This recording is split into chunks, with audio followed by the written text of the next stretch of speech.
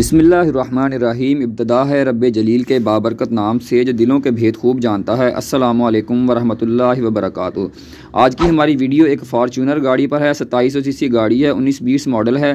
तकरीबन पैंतीस से चालीस हज़ार किलोमीटर ये गाड़ी चली हुई है।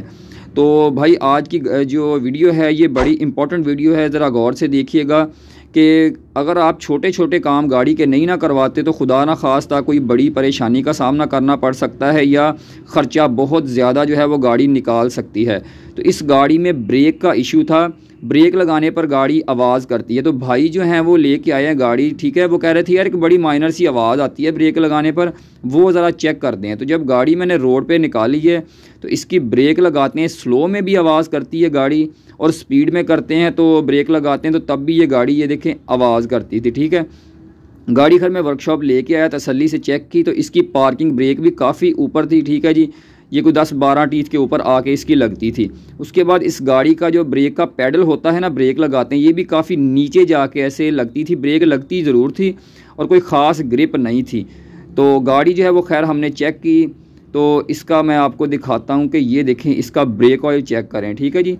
ब्रेक ऑयल इसका मैक्सिमम से काफ़ी नीचे गया है और उन्होंने इसमें ऐड भी किया है कि पूरा करने की कोशिश की है, लेकिन फिर उसके बाद फिर नीचे जाता रहा। तो इसको हमने खोला है तो इसके अंदर ये देखें, इतनी कार्बन थी कि मैंने कार्बन से अंदाज़ा लगा लिया। तो मैंने उन्हें बताया, मैंने कहा, भाई, अरसा दराज से जो है वो गाड़ी की ब्रेक सर्विस नहीं हुई। कम अज़ कम बीस हज़ार से तो ऊपर हो गया है, इस गाड़ी की ब्रेक चेक नहीं हुई। और वो भाई मान के कहते, हैं हाँ जी, बिल्कुल ऐसी ही बात है, हमने तो कभी सर्विस नहीं करवाई और ना ही कभी ज़रूरत पड़ी है। तो हमें तो यही लगता है कि बस इसके डिस्कें लेदर वगैरह तब्दील करते रहें और गाड़ियाँ चलती है। इन गाड़ियों को कोई ख़ास जो है वो ज़रूरत नहीं होती सर्विस वगैरह की। क्योंकि ये बड़ी गाड़ी है, बड़ी मज़बूत होती है तो मैंने कहा, भाई, ऐसा बिल्कुल भी नहीं है। और ये देखें, दूसरी साइड खोलिए तो उसके ऊपर भी बिल्कुल सेम सीन था। ठीक है जी? सिर्फ़ ये है कि ब्रेक शू जो है लेदर इनके ऊपर है, उनकी थिकनेस वगैरह लेदर वगैरह ठीक है, पूरा है।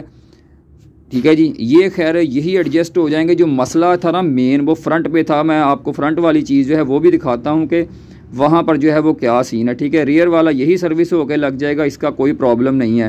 तो ये देखें, ठीक है जी? ये हमने इसका व्हील उतार लिया है और ये चेक करें। सिर्फ़ छोटे छोटे काम मतलब कि को पाँच दस हज़ार रुपये गाड़ी की सर्विस नहीं करवाई तो ये निज़ाम है, ठीक है? इसका रूटर देखें, बिल्कुल उड़ गया है। उसके ऊपर काफ़ी लाइनें हैं, ठीक है जी? ये देखें कितनी झरियाँ आ गई हैं। और ये इतना नुकसानदेह कि खुदा ना खास्ता ये जानलेवा भी साबित हो सकता है कि गाड़ी की ब्रेक बिल्कुल फेल थी और उन्हें पता भी नहीं चला।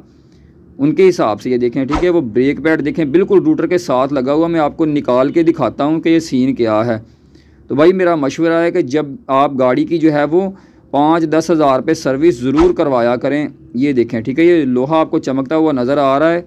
ये रूटर के साथ रगड़ के चल गया और इसके ऊपर बिल्कुल एक रत्ती बराबर भी जो लेदर मटेरियल होता है ब्रेक वगैरह लगती है जिसके साथ वो बिल्कुल है ही नहीं, ये देखें, बिल्कुल ठीक है, ऊपर से साफ़ हो गया है और लोहे के साथ लोहा चल रहा था और उन्हें पता भी नहीं था और वो सिर्फ़ एक माइनर सी आवाज़ चेक करवाने आए थे। इसके ऊपर सिर्फ़ तकरीबन एक एम mm के करीब जो है वो शायद मटेरियल हो और उम्मीद है कि अंदर वाली साइड भी जो है वो रूटर की बच गई होगी। तो अब भाई जो थे, वो कह रहे थे कि यार ये रूटर दागी हो गए हैं, हमें डर लग रहा है कि ये नहीं होने चाहिए। तो मैंने उन्हें बताया, मैंने कहा, भाई, इसके रूटर जो तवे होते हैं, ये बहुत महँगे होते हैं। तो इन हम कोशिश करेंगे कि खरादिए के पास भेजते हैं, क्योंकि इसकी साइडों में फ़र्क आ गया था, मोटा पतला तो ज़ाहिर हो रहा है। लेकिन फिर भी इसे टूल वगैरह लगवा के देखेंगे और इन उम्मीद है कि चलेंगे। और ये इसकी राइट साइड है, ठीक है जी? और ये देखें, इसका भी ये जो लोहे वाला जो आपको चमकता हुआ पॉइंट नज़र आ रहा है, यहाँ से लोहा रगड़ चुका है, लोहे के साथ लोहा चल गया है, ये आउटर साइड की यानी बाहर वाली साइड की ये डिस्क है, ठीक है? ये अंदर वाली साइड की है। इसके ऊपर भी तकरीबन एक एम एम के करीब करीब मटीरियल है थोड़ा सा मटीरियल जिसकी वजह से गाड़ी रुक रही थी। खुदा ना खास्ता भाई, अगर आप ऐसे ही इसी कंडीशन में निकल जाएँ लॉन्ग रूट पर या किसी हिली एरिया में तो बहुत नुकसान हो सकता है ठीक है? इसके ऊपर भी निशान है खैर इसको लगेगा टूल इसको खोल के मैं आपको दिखाता हूँ अंदर बाहर वाली साइडें और ये हमने इसके रूटर खोल लिए हैं वो जो तवे थे ठीक है जी? ये देखें ये, ये। इसकी जो है ये बाहर वाली साइड है इसके ऊपर ये देखें कितने ज़्यादा निशान हैं और इस निशान की वजह जो है वो मैं आपको दिखाता हूँ कि ये वाला जो होता है ब्रेक पैड ये बाहर वाली साइड का था ऐसे लोहे के साथ ये लोहा चल गया है अंदर वाली जो साइड है, ये ठीक है, क्योंकि इसके ऊपर थोड़ा सा मटेरियल था। तो खैर, इनको लगेगा टूल और हमने जो है इसके मंगवाए हैं ब्रेक पैड ये वाले, ठीक है जी? भाई को कहा था कि ला दें, और भाई खुद ही लेके आए हैं गाड़ी वाले, और ये मिले हैं जी सोलह हज़ार रुपये के उन्हें। और ये है कि बस ये हैं, बिल्कुल जेन्यन और इनकी थिकनेस मैं आपको दिखाता हूँ कि इनके ऊपर कितना मटेरियल था। फिर आपको पता चलेगा कि भाई गाड़ी की ब्रेक सर्विस करवानी चाहिए या नहीं, या ब्रेक सर्विस कितनी इंपॉर्टेंट होती है। भाई, अगर अल्लाह पाक ने आपको गाड़ी दी है इतनी महँगी तो उसकी सर्विस ज़रूर करवाया करें, क्योंकि यार पाँच नहीं तो दस हज़ार किलोमीटर एक बड़ा, लंबा तवील, एक सफ़र होता है।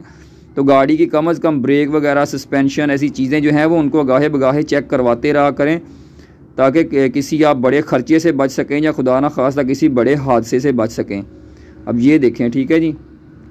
ये दोनों हमने ये पुराने इसके ब्रेक पैड रख दिए जोड़ के, और उनके तकरीबन उनसे बराबर या उनसे भी ज़्यादा उसके ऊपर सिर्फ़ मटेरियल है जो नए ब्रेक पैड हैं, ठीक है?